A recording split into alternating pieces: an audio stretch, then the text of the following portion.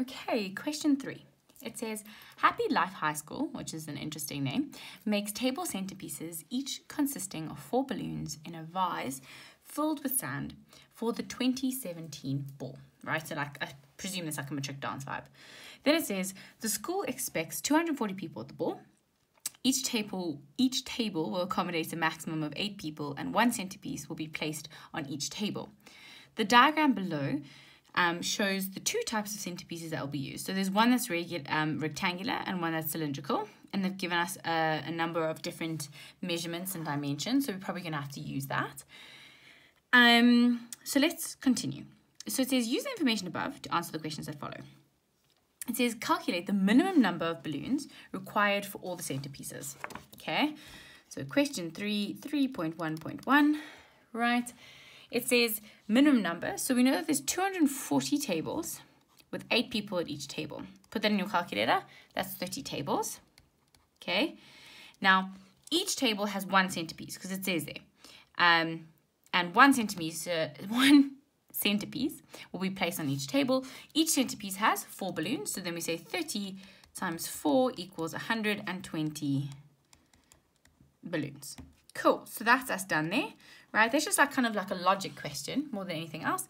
But make sure that you're picking up the particulars of this question as you go through it. It says each vase will have a decorative ribbon around it. Oh, my language in this in this video. Sorry, the ribbon will overlap one centimeter. Okay, so basically means as you wrap it around, that little overlap will be like that, one centimeter.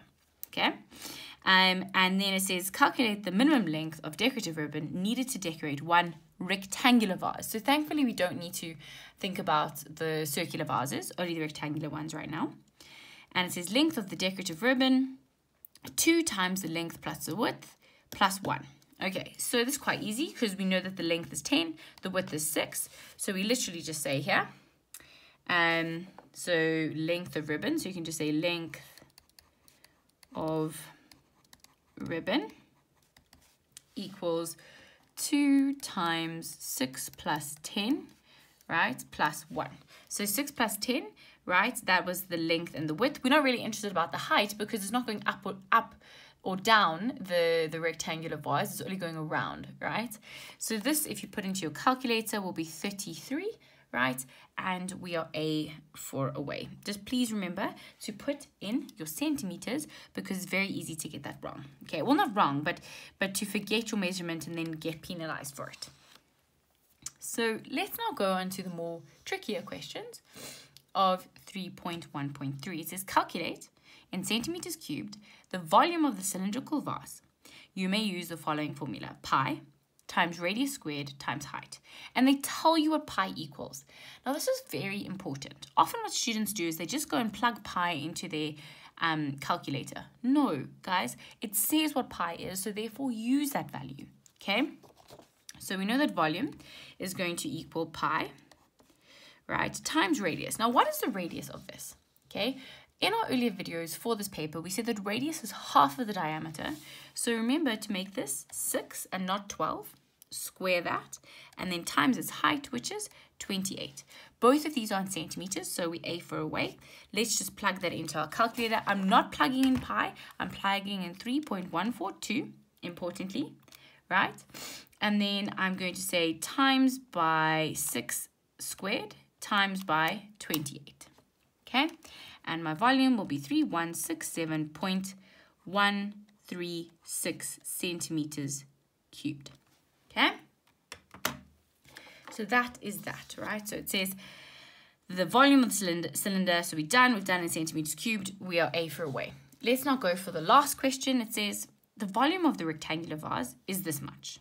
Okay, so it's a bit different to what we got in our question, which is not a problem, right? Um, and then it says um, Oh, well, this is the rectangular vase. Sorry, I'm looking at the, at the, I'm thinking of the cylindrical vase. So important to read your questions. The volume of the rectangular vase is 1,680 centimeters cubed. 45% of the vase will be filled with sand. So it's not the whole thing, it's only 45%. The mass of one centimeter cubed of sand is 1,53 grams. Calculate in kg. So there's a bit of like moving pieces here to two decimal places.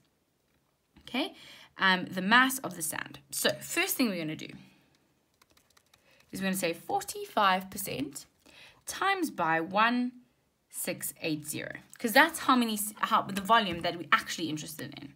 So 45% times by 1680 and that would be 756. Okay, so that is how many centimeters cubed is actually going to be with sand. But each of these centimeters cubed, right, how much does it weigh in sand? 1 comma 5, 3. So let's get it into how much it's going to weigh. Okay, so take that answer times by 1.53 and our answer there is 1156.68 grams. Okay, but it said we have to do it in kilograms, okay, and to two decimal places. How do we get grams to kilograms? We divide it by a thousand. So you divide it by a thousand, okay? So I'm going to divide that by a thousand, and that's going to give me 1.1. It says to two decimal places, because my third decimal place is above five, it's going to round it up. So it's going to be that. And that is your answer. So here it's important to make sure that you're reading your questions because it's very easy to get it wrong. Okay, but that was quite a few marks. I mean, if you look there, there was a good 12 marks and it was really easy to get. Okay, so that's us done. Let's go to the second half of question three.